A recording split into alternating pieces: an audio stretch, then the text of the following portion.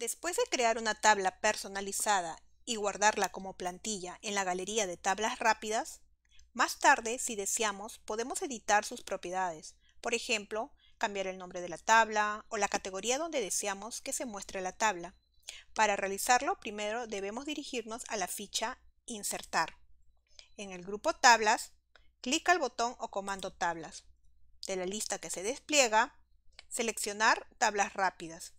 Luego, clic derecho o clic con el botón secundario sobre la tabla que deseamos modificar, que es la tabla inventario que creamos en la lección anterior. Luego, seleccionar la opción Editar propiedades. Se abre el cuadro de diálogo de modificar bloque de creación. En él podemos cambiar el nombre si deseamos o algún otro campo. Por ejemplo, cambiaremos la categoría. Ya no deseamos que se almacene en la categoría laboratorio-com, sino en otro. En la lista desplegable, clic y seleccionamos la categoría general.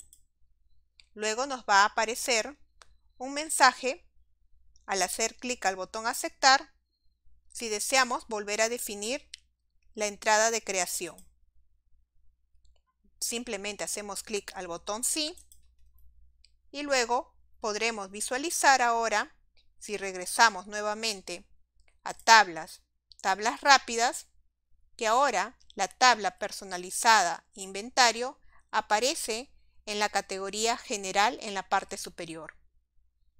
También podemos eliminar la plantilla de la tabla de la lista y para realizarlo debemos seguir los siguientes pasos.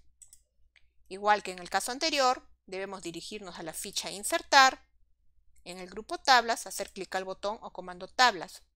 De la lista, ingresamos a Tablas rápidas y luego clic secundario o clic con el botón derecho sobre la tabla que deseamos eliminar, que es la tabla Inventario.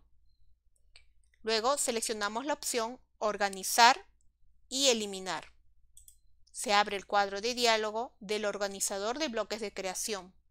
Desde este cuadro, al hacer clic en Editar propiedades, accedemos al mismo cuadro de diálogo de modificar bloque de creación que vimos anteriormente. Y desde acá también podemos configurar cómo cambiarle el nombre, cambiarle la categoría o otras configuraciones.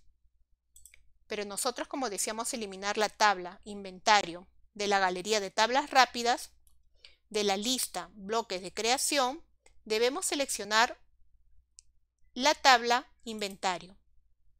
Una vez que lo hemos seleccionado, luego clic al botón eliminar. Nos aparece un mensaje de confirmación y luego clic al botón sí para aceptar y luego clic al botón cerrar.